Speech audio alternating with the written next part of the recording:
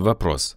Мы проживаем в провинции, и иногда я навещаю дом своего дяди, который проживает в городе, отдаленном от нас на расстоянии 50 километров.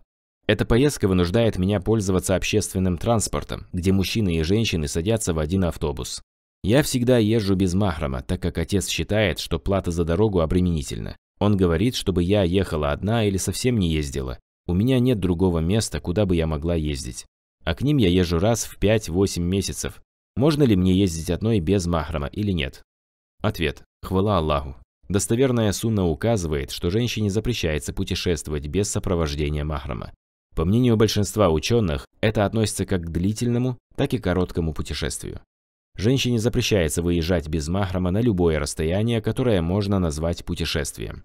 Передается от Ибн Аббаса, да будет доволен Аллах им и его отцом, что посланник Аллаха, саллиллаху алейхи вассалям, во время своей проповеди сказал, пусть женщина путешествует только в сопровождении махрама, и пусть не входит к ней мужчина, если при ней нет махрама. Тогда поднялся один мужчина и сказал, «Я хочу направиться вместе с таким-то войском на сражение, а моя жена желает совершить паломничество. Пророк, саллаллаху алейхи вассалям, сказал, «Выезжай вместе с ней». Хадис приводится у Аль-Бухари под номером 1729 и Муслим под номером 2391. Ан-Науи, да помилует его Аллах, разъясняя, что под путешествием в этом хадисе не подразумевается определенное расстояние, сказал, Итак, женщине запрещается выходить в путь без махрама во все поездки, что называются путешествием.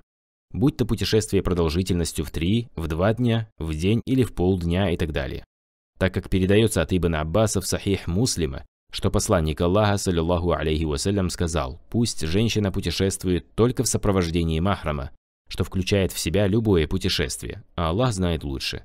Шарх Сахих Муслим с сокращениями. Постоянный комитет по фетвам постановил, женщине запрещается выходить в путь без махрама как на большое расстояние, так и на короткое. Поэтому если в вашей стране это расстояние считается путешествием, то вам запрещается ездить без махрама. А Аллах, если пожелает, воздаст вам за благое намерение. Созванивайтесь со своим дядей, и этого вам, если пожелает Аллах, будет достаточно. А Аллаху ведомо лучше.